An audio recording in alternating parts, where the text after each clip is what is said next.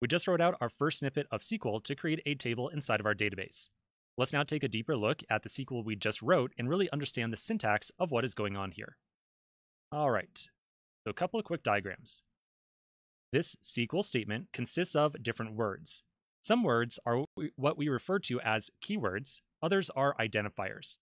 Keywords are very special words inside of SQL that tell the database that we want to do a very specific thing, or designate some particular option. Identifiers are how we tell the database what we want to somehow operate on. So in this case, create table is an example of a keyword, and cities is an example of an identifier.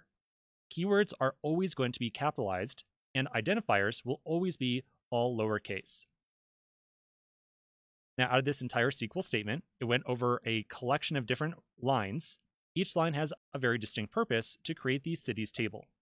The very first line, create table cities, as you'd guess, creates the table itself. Then, inside that set of parentheses, we listed out all the different columns that this table should contain. In total, we said that we wanted four different columns, so name, country, population, and area. Then, right after each of these different column names, we listed out the type of data that would be stored inside of that column. So we said that name and country were going to contain data of type varchar 50, and population and area would contain data, data of type integer. So what exactly is a varchar 50 or an integer? Well, these are two examples of column data types. Varchar 50 is short for variable character. You can think of this essentially as a string. It is a string of characters. The 50 in there means that we never expect to try to store a string longer than 50 characters. If we ever try to insert a city with a name or a country longer than 50 characters, then Postgres is going to give us an error.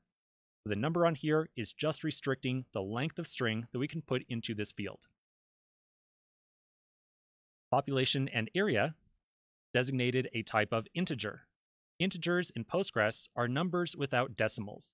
They can range from about negative 2 billion to about positive 2 billion. If we ever try to insert a value into population or area larger or smaller than negative to positive 2 billion, then we're going to end up getting an error.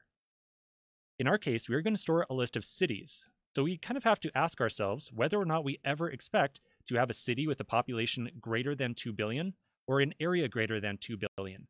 Well, right now, Tokyo is the largest city at about 38 million. So I don't really expect us to have a single city with more than 2 billion people inside of it anytime soon. I'm sure you can make the case and say that maybe in 100 years or 1,000 years, there's going to be some really large cities out there, but for the purposes of this example, I don't think we're ever going to have a population greater than 2 billion inside of one city. Okay, so that is the meaning of that little piece of SQL right there. Now we're going to take a look at many other examples over time of SQL. We're going to see many other data types as well, besides just varchar and integer, but they are at least a good place to get started. Now that we've got our table created and we've assigned some type of data to each of these different columns, we now need to figure out how we can actually insert data inside of here as well. So let's take a quick pause and then understand how to insert data into a table in just a moment.